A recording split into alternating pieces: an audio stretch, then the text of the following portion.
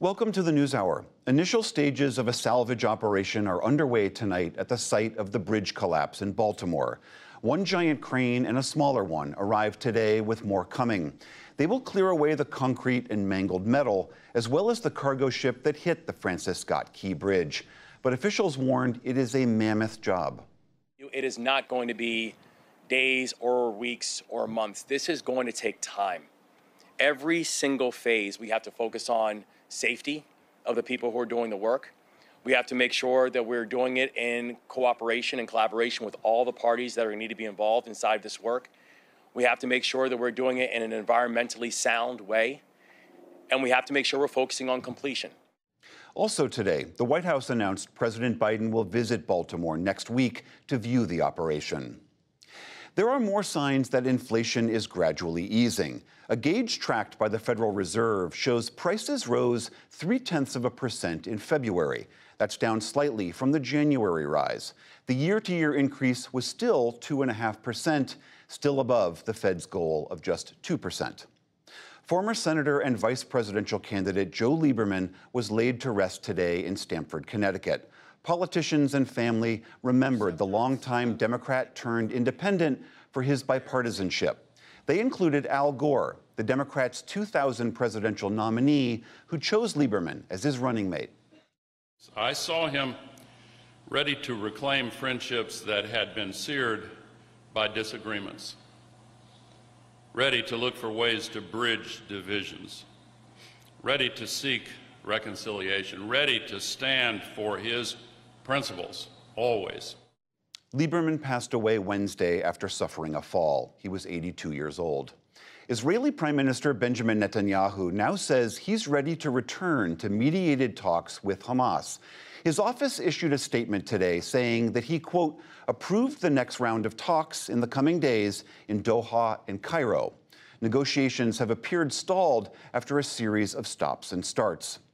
Meanwhile, Israel hit Syria today with the deadliest airstrikes in years. An independent Syrian war monitoring group reports 44 people were killed, mostly Syrian troops.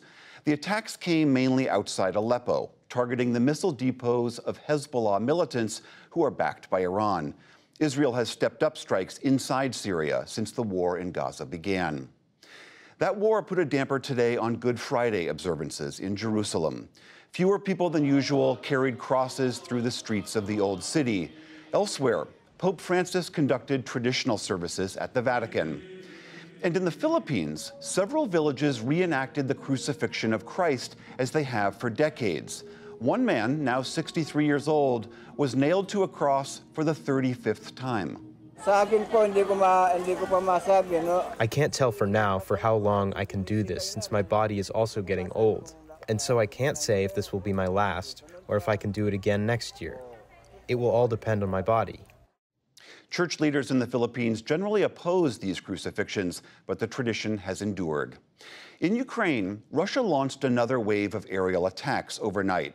Almost 100 missiles and drones struck power plants at Kyiv and Dnipro in a wide ranging assault across central and western Ukraine.